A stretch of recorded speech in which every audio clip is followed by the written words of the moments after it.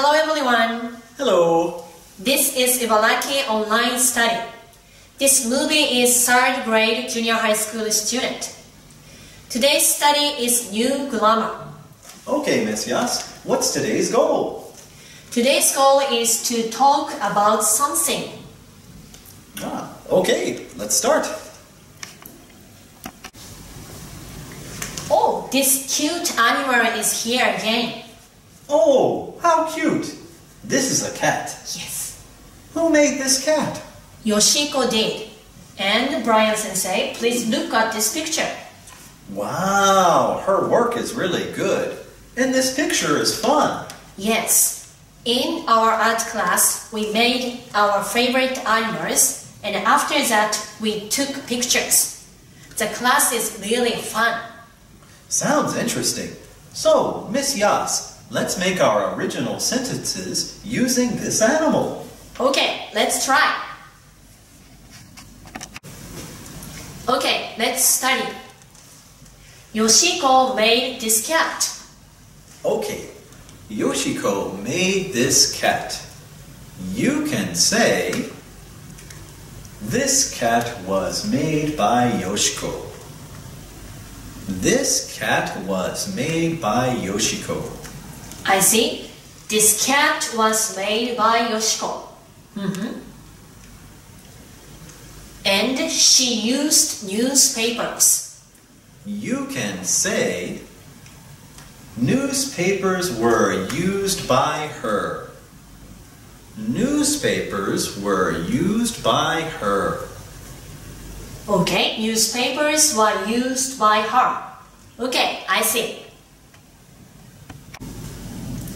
Okay, let's check grammar more. This cat was made by Yoshiko. Mhm. This painting is loved by many people. Do you understand? But Brian sensei, what is kakobunshi? It's a kind of verb. I see. For example, show, showed, shown. Bring, brought, brought. I see. These are kakobunshi, right? That's right. So fill in the blanks. Please open your books to page 7. Let's begin. Number 1. Nara is by many people. Number 2. These books around the world. Number 3. A furoshiki is in many ways.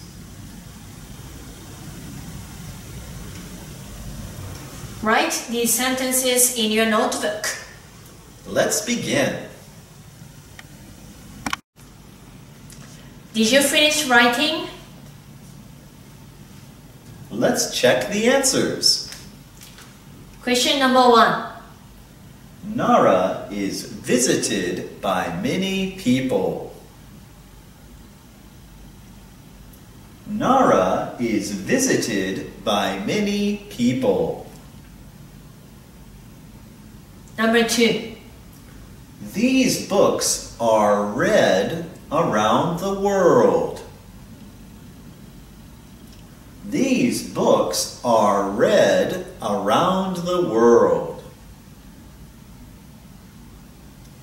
Are the spellings the same? Brian sensei, is it okay? Yes, the spellings are the same, but the sounds are different. Read, read, read. Oh, I see. Number 3. A furoshiki is used in many ways.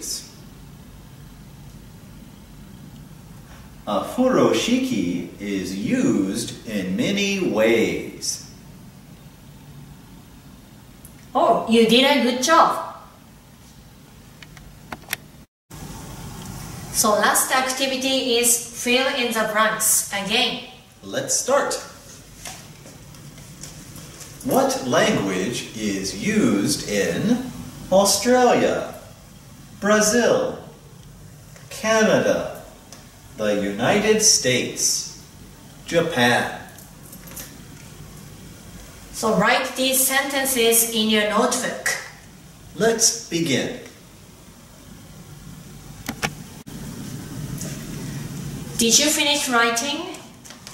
Let's check the answers. Okay. Number one. English is used in Australia. Number two. Portuguese is used in Brazil. Number three. English and French are used in Canada. Number four. English is used in the United States. Number five. Japanese is used in Japan. So, do you understand today's new grammar?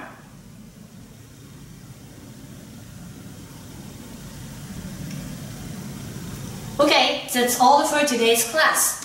See you next time. See you!